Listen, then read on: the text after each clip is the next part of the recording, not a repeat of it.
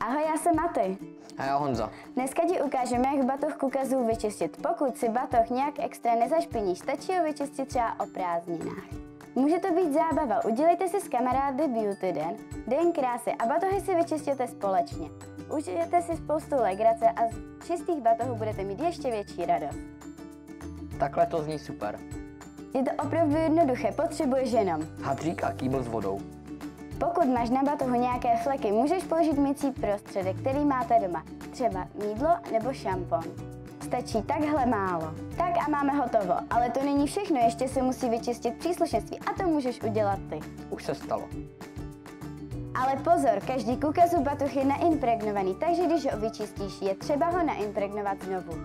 Při čištění v žádném případě nepoužívej čistící a mycí prostředky, jako jsou prášky na praní nebo na mytí nádob. Pokud chceš další rady a tipy, jak zacházet s batohy kukazu, sleduj nás na sociálních sítích.